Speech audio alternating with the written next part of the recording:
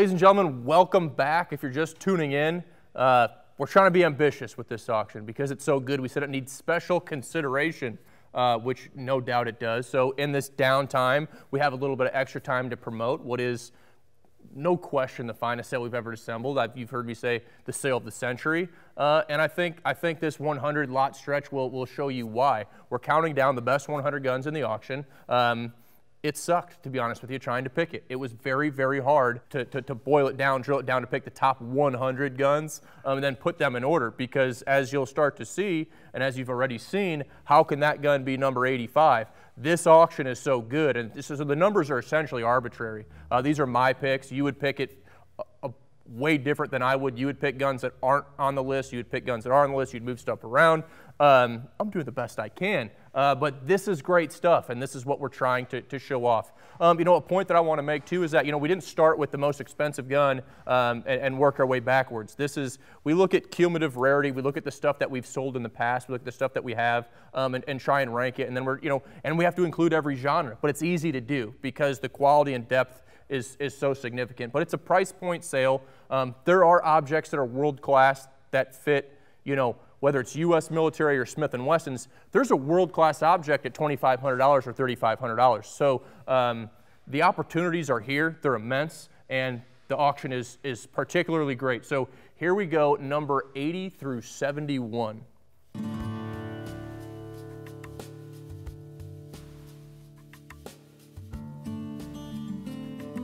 Number 80, we have lot number 476. That's going to be Friday, day one. Again, U.S. Uh, military, U.S. automatic pistols. Uh, we have an exceptional example of an early 1911 um, Navy. It was shipped March 5th, 1915, in the last group of 500 um, to the U.S. Navy that have the large U.S. Navy marking um, on the frame, and that's what makes these guns um, so great, so iconic. Um, just trying to roll it and show you some of the condition here because it is it's as good as they get um, for the for the early 1911s. That's what people are looking for. The early guns, especially the navies. Um, condition, condition, condition. This is as good as it gets. Again, it was in the last shipment um, of 500, and these are the last guns that have the large U.S. Um, Navy on the slide. Um, number 80 on our list. Uh, number 476. Again, it'll be on Friday, so check it out in the catalogs.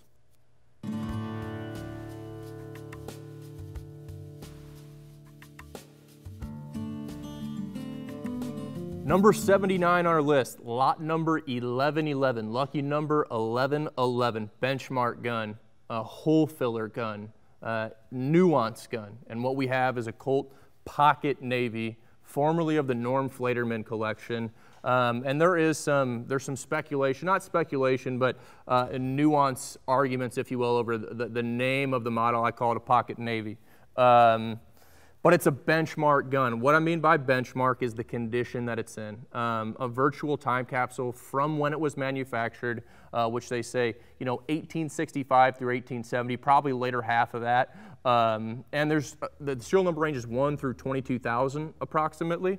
Um, and so, you know, limited production run, but benchmark for condition. Um, and you can see this gun has tremendous brilliance. Um, and I think, I think that's obvious. I always say the best stuff is obvious, um, but you can see how that case hardening um, is so vivid, so bright, it just, it jumps off at you.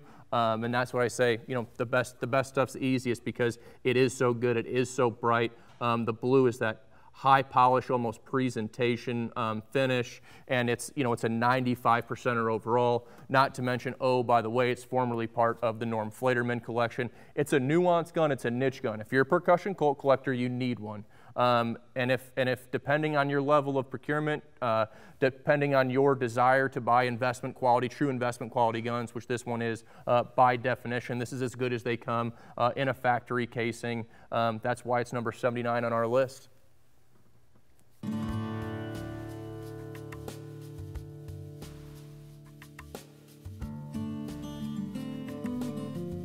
Number 78 on our list is lot number 586. That's lot number 586, our first Luger, uh, but not our last, of course. Um, and what we have is an exceptionally rare example of a 1900 DWM Bulgarian contract Luger. Um, estimates suggest they only made about a thousand of these. Um, serial number range block was 20,000 uh, through 20,000 21,000, so it's serial number age 20,000 through 21,000. Um, this is kind of in the later half of that. I believe it's 786, serial number 786 or 787.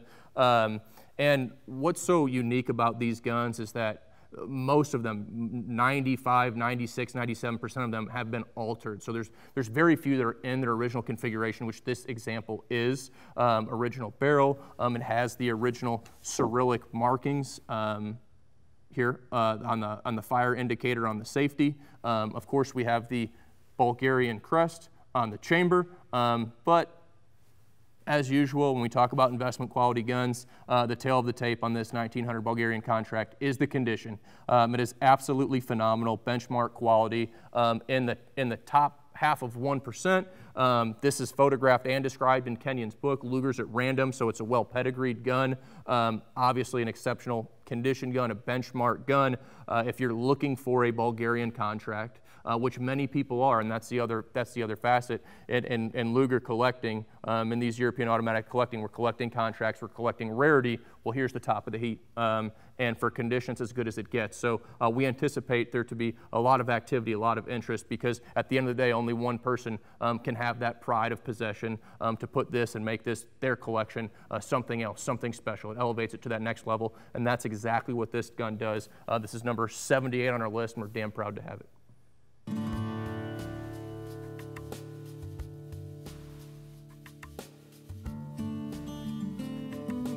Number 77 on our list, we have lot 3035, the gun that won the West, Winchester 1873.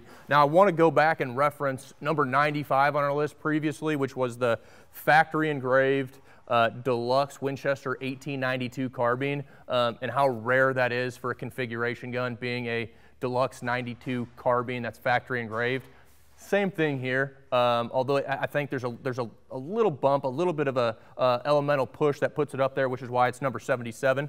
Um, but it's a factory engraved, kind of the same, same, same thing here. Factory engraved Winchester 1873 carbine, so we know it's rare. Now it's, and it's factory engraved, of course, but it's deluxe. So we have a deluxe factory engraved 1873 carbine, but it's also gold nickel. Um, so you know, we, when we submit for a factory letter on this on this gun, um, Alex Shanowski, which some of you have seen or know, or whatever, uh, he called me and said, "Man, you're not going to believe this letter. It's so cool." The letter's like two or three pages long. Um, it letters to uh, a New York expo. Um, this thing went around the world. I mean, literally around the world as a showpiece for Winchester. Um, and so, when as Winchester collectors, however however deep you are in your collection or what you're aspiring to, um, for configuration rarity as a factory engraved Winchester 1873 deluxe carbine um, with gold nickel, totally substantiated by the factory letter, which is a page or two or three long. Um, this is, this is a true opportunity. It's also a price point gun. It's not a $50,000 gun or a $100,000 gun. It's a price point gun. So um, it's a great piece of American history. It's a wonderful rarity. Um, it's as good as it gets. It's number 77 on our list. Again, we're happy to have it.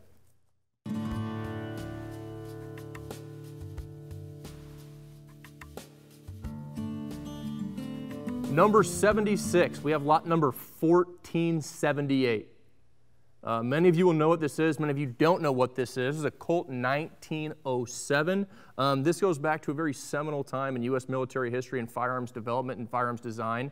Uh, the U.S. military test for the 45 ACP um, cartridge. So this is, you know, Colt's first attempt at the 45 ACP. It's the 1907. Uh, they manufactured approximately 195 um, of these 07s uh, for field trials. Now they made about 207. Um, you'll actually see one a little bit after this. This is number 193. Uh, you'll see, uh, I believe it's 197 or 198. It's uh, Meadows' book, but it's, the, it's got the PAL indicating device, which we know is the cartridge counter. Uh, but there is a 1907 with the cartridge counter device, and that's just a few numbers right after this gun. So it's, um, it's, it's one of the, uh, the 195 that went into the field. This gun shipped to Fort Snelling in Minnesota. It was, it's a field trials gun. It was meant to be used up, tested, and abused, uh, see how it could handle, um, see, see how they did. Um, and again, you have just a few after that. Some are, some are presentation guns. Um, so when you, again, we can quantify and qualify, and that's the, that's the beautiful thing when we can look at manufacturing numbers. Um, Now, we don't know the survival rate, but we can say it's relatively low. I mean, these guns were made to be tested hard, and so the survival rate is, is, is extremely low.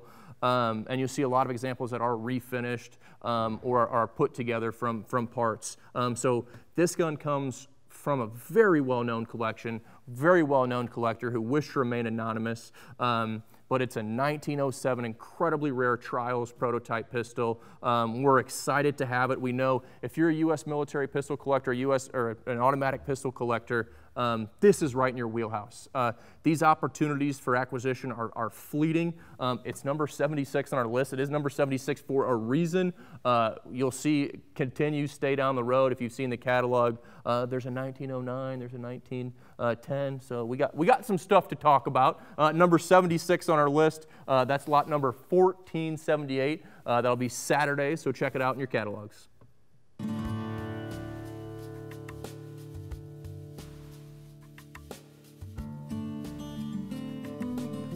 Number 75 on our list is lot number 58 in your catalogs. That's the first hour and the first day of the auction on Friday. Uh, and this one's an easy one, ladies and gentlemen. Um, it's a layup. It's just an absolutely gorgeous second model Winchester 1873 case hardened deluxe rifle. Uh, this is this is one of those rare instances, might I add, that I don't think the catalog pages truly do this gun um, justice because in the second model features, it's, it's nuanced stuff, but it's, um, it's true. Um, some of the early case hardening, you get different colors um, in, in 73 uh, case coloring. Um, from the early guns to the later guns, this is in the first 25,000. Um, it's, a, it's a deeper, darker tone. Um, lots of lots of reds, blues, um, greens, but it's it's deeper, darker. It's it's somewhat um, subtle, but it's it's deep and rich, and that and that's what we have with this gun. And so um, the photographs don't always do it justice. I'm just trying to roll it here a little bit, um, and you could see that tremendous amount of niter blue on the loading gate. Um, the other the other kind of nuanced thing is you see that it's it's earlier checkering on the 73, typical of a second model. That did change. It got finer, it got tighter, it got coarser a little bit later on. So you see these nuanced changes from first models, second models, third models, um, and this is just you know a classic second model. Um, it's a half octagon, half round, so it's a, it's a, special order 73, case hardened deluxe, half octagon, half round. Um, shotgun butt, but a, a, beautiful benchmark example, complete investment quality um, for a 73, and that's and that's to me that's what this is what gun collecting is all about. Classic 19th century American firearms. It's uh, apple pie, it's a Corvette. Um, put it on the wall and love it forever. That's what this is.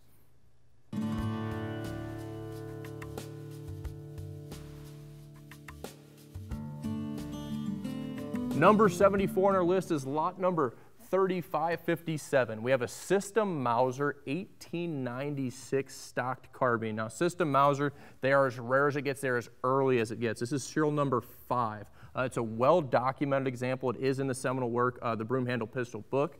Um, and they're all essentially different. They're starting serial number one through four. Um, you see the, the, the, screw and barrel. This is serial number five. Here we have the first example um, of an integrally attached barrel um, machined as one piece. So uh, just like anything in, in, firearms manufacturing, it's pragmatic, pragmatic, trying to figure it out and make it work. Uh, system Mauser marked on the chamber um, with the original stock. Uh, the lug has been modified. This is the earliest documented system Mauser that we've ever offered. It's the lowest number. Um, it's probably the most important um, that, that we've ever offered. Um, it's number 74 on our list and uh, look for it in your catalogs. That's going to be day three. That's lot number 3557.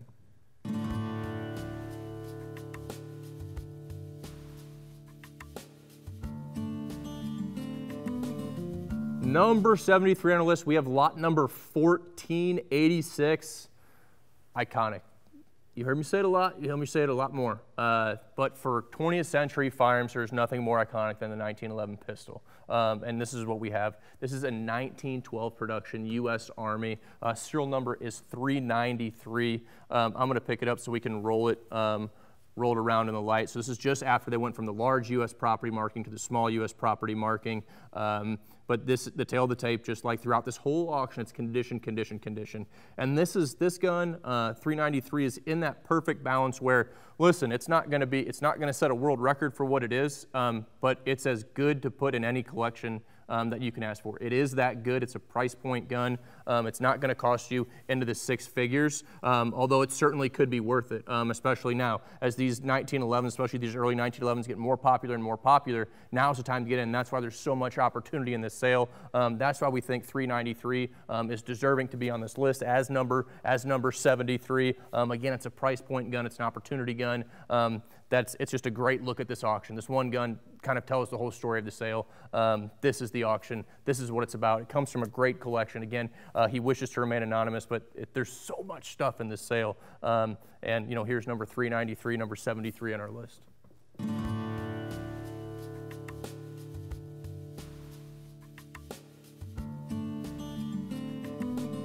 Number 72 on our list is lot number 551. It's our first Class 3 NFA firearm to make the list. Again, it's not going to be our last. Um, iconic PPSH 41. Um, and just a strong, solid example um, of the iconic Russian machine gun. Um, you'll note it's, it's all mashing. um, receiver, buttstock totally matches um, with the mag pouch. And, you know, these guns are iconic um, throughout the Eastern Front. Um, and they were manufactured well into the 1950s, of course, um, with the advent of the AK-47. So, I mean, they are as iconic as they get for a World War II machine gun. They're iconic as it gets for a Russian machine gun. Um, and here it is. Again, it's our first NFA Class 3 on our list. It's not going to be our last. Um, and there's, there's about 100 NFA Class 3s in the sale. So make sure you check those out. Again, 72 on our list.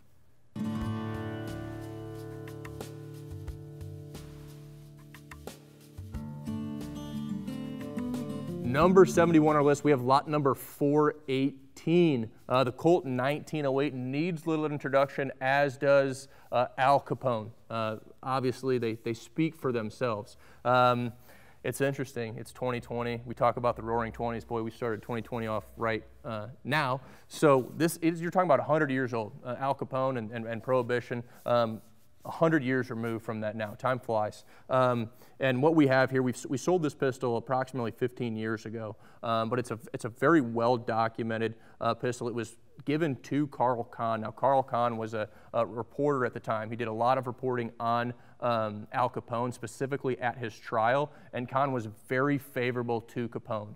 Um, obviously, like him or love him, um, he is definitely a polarizing figure, but Kahn was very kind to him um, in the papers, and Capone never forgot that. Um, on his way before his, before his indictment, before he was uh, convicted, he gave this pistol to Carl Kahn, um, and it, that's accompanied in, uh, with, by this pistol, um, and I believe two signed letters of affidavit. So it's, it's a well-documented gun to you know, one of America's most notorious crime mob syndicates, Al Capone. And that's what we talk about real art, real iron, real history. It's, it's all here. Um, and so that's what this auction is about. This is number 71 on our list, and what an exciting piece it is.